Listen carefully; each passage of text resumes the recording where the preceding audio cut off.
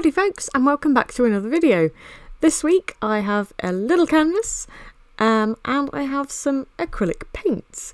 It's been a while but I was really inspired by uh, Chloe Rose and Jamie Joe who have used this brand of acrylic paints and just made beautiful things with them. So I went out and I bought some, pretty much. It is the PBO or Pebeo brand of acrylic paints and I believe they're actually craft acrylic paints, so for painting models and wood and stuff like that. But like I say, I've seen these guys make pretty things with them, and I thought I want to do that too.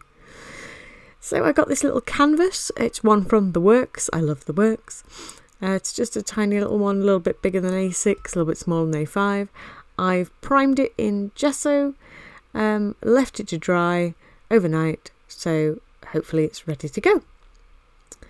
So the paints that I got were lemon yellow, uh, dark green, probably has a fancier name than that, but I don't know. Uh, light green, a red, my favourite. Uh, dark blue, I guess, could be ultramarine. A light blue, saw that one coming, didn't you? A pinkish, purplish, reddish. Oh, a white and a black, which wants to roll over a lot. Oh, yeah, so these are the colours I've got, and this is what I'll be using as a palette, just a basic plate from IKEA, uh, and my little itty bitty canvas. Um, let's let's make art. So to start things off, I grabbed a green erasable pencil and sketched up my design. Apologies, it's not terribly clear. Um, it will become clear, and if you know me, you can probably guess what it is. But I start off painting the background. I usually do this whenever I do an illustration of a character in a situation just because I have a terrible fear that I'm going to mess up the background. I'm fairly confident when it comes to characters because I draw them all the time, but backgrounds, I don't know, there's something about them that still kind of spooks me, so I, I usually make a point to, to do those first. Now, it's been a fair few years since I used acrylic paints, and I'd forgotten that they dry a lot darker than they go on, so that's why I started with a darker colour in the uh, top left corner there, and I remembered and uh, added a bunch of white to try and make it a bit more on the sky side. Something I have noticed about my videos is I tend not to give you guys any palette shots, so here's a rare bit of palette action for you now. I'm trying to decide whether I like it better when you can see the palette so you can see me mixing my colours, dipping my paintbrush, that sort of thing, or whether it's better to just zoom in on the artwork itself. So let me know in the comments if you would like more palette action or if you're happy to just look at the artwork and try and figure out what happened on the palette yourself. I think this is about it. Yeah, that's your lot. That's all the palette action you're going to get this video. So if you want more, let me know. So if you haven't guessed by now, I am painting a frog. That's probably not a surprise to any of you that know me, frogs are my favourite animal. I actually used to keep frogs. I had uh, three red-eyed tree frogs, which is the type that I'm painting here, and they were adorable. Although they were nocturnal and everyone who came round was like, you just keep leaves because they were hard to spot, I knew where they were and they were amazing. But anyway, about the painting. My method really um, at this stage is putting down a darker colour first and lightening it up. Uh, you can see with the green I hue shifted as well by adding a bit of yellow rather than just straight white, just makes it a little bit more interesting. Like I said, it's been a fair few years since I last used acrylic paints, so I really didn't have any tips and techniques when I was in my teenage years that I remember now. this is where I wished I had a brighter yellow. So the yellow that I've got is kind of on the pastel side of things. Um, and those feet really should have been a, a, brighter orange, but that was as bright as I could get it with the, uh, the yellow that I'd got. So lessons have been learned. I might have to go back for more paints. I really liked the way these paints went down. I've never used such a watery type of acrylic before. I've also never used matte acrylics before. Um, and like I say, despite the fact it has been many years, um, the ones that I used to buy were like the Daler Rowney System 3 ones, I think they were. Um, and they were quite glossy when they went down. I don't know if I'm even using them right because I'm pretty sure you're not supposed to use like water and stuff like that, but I still cleaned my brush with water and if I thought the paint was too thick I put a bit of water in it, so come at me paint police. But I really enjoyed the way that these went down. It was fairly decent coverage with just one coat. Um, so I was distracted momentarily by how the eyes darkened because the, uh, the, the time shifted there. That's what I mean about the paint going down dark lighting. But yeah, these paints were great. Um, for a cheaper paint, they're £2 a tube. Uh, I guess tube is what I'll call them for that. And they go on really nicely. Um, like I say, the coverage is pretty decent. For the most part, I didn't feel the need to put second coats on things.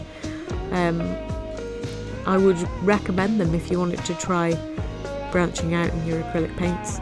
I'm intrigued to paint on wood with them, um, just to see because I feel like that's kind of what they're made for. Um, so I'll, I'll let you know. Maybe it'll be a future video. I have got some little bits of wood that I could paint, um, as well as a, a bit of a project that I'm hoping to get done before December. So keep your eyes peeled for that one. I obviously mixed up um, and decided to paint the character before I finished the background. I've just realised I went on saying, oh yeah, I feel more, confident when I'm doing a character, but remembered that I just went straight into the frog because I fancied it. Um, and now I'm going back to the background. And I wanted to keep it really quite simple. Um, again, I've gone for a children's illustration vibe. Um, I suppose it's kind of because that's what I do. um, I do quite a lot of children's illustrations, so it's kind of my my go-to style. Also, if you're trying out a new media, it's a, it's a more simple style, which I considered this me trying a new media considering how long it's been. So that, that's why. I really wasn't sure about these flowers when I first put them down because I thought, oh, actually they're really pulling my eye. Um, but I think after I lighten them up a bit, I don't think it's as bad, but I don't know, I still think it's quite contrasty and maybe it, it pulls your eye a bit. I think when I when I eventually put the pupils in the frog, I realise it's quite creepy looking at the moment. Um, it, it will get better. um, I think that helps to, to pull your focus in because you're naturally drawn to, to eyes. But yeah, like I said, because things dry a lot darker, those eyes were were looking quite bright, but they do tone down a bit is where the red-eyed tree frog gets its name after all. It's red eyes. I think over here I'm just giving um, the vines their kind of extra vine hanging off bits moss. I don't know, I don't really don't really know jungle anatomy, but I was trying to look, make it look a bit jungly. But he's quite high up, I guess, because the sky's still there. I was just having fun, let's be honest. This is not factually accurate depiction of Costa Rica. this is just me painting some leaves and some vines to think, yeah, it's jungle. Look. And those flowers obviously are jungle flowers of some kind. I think it's at this point that I realised, oh yeah, I put some flowers up here. Let's paint those. And throughout working on this image, I kind of toyed with the idea of leaving it lineless. Um, I abandoned that idea about here, I think, because oh no, the, the eyes, there you go. It's hopefully a lot less creepy now. you, you can finally see, look, he's got something to smile about. He's been smiling that whole time though. He's a nice guy. But yes, it's also where I abandon the lines. Or rather, the linelessness. I think the uh, the last painting that I did didn't have any lines, so I was like, you know what, I missed my line art. So to do the line work, I didn't actually go straight straight up black. I mixed it with green for going around the kind of foliage and stuff and the edges of the frog. And then I mixed it with the um, pinky purpley red to go around the flowers and his eyes and I think I did his mouth with that colour too.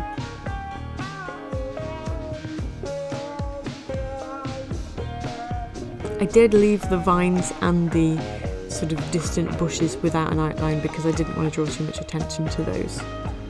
So I left those as kind of background, background stuff. Double background, that's how you know it's a good background. And yes, finally putting a big old shine in his eyes now it's all dried. I just think that makes such a huge difference, like he looks so much happier and brighter. I did cheat and grab a Sharpie to sign it because I just didn't trust myself to sign it in a brush. So there you go. And here he is. I think he's pretty cute, not gonna lie. I kind of wish he was a little 3D model and I could hold him. I wouldn't be surprised to see him have some sort of adventure. But anyway, I really hope you've enjoyed this video and my dabble with acrylic paints again. Look at those eyes. If you have, then please give me a thumbs up and let me know in the comments. And if you'd like to stick around for more arty adventures, then make sure to hit that subscribe button. And that's all for now. Until next time, I recommend these paints. Grab them while you can. I don't know. Grab, go down to Hobbycraft and I, I don't know if anyone else supplies them, but yeah, two pound a tube. Really good paint. I like it, and it's all over me, so you know it's a good paint.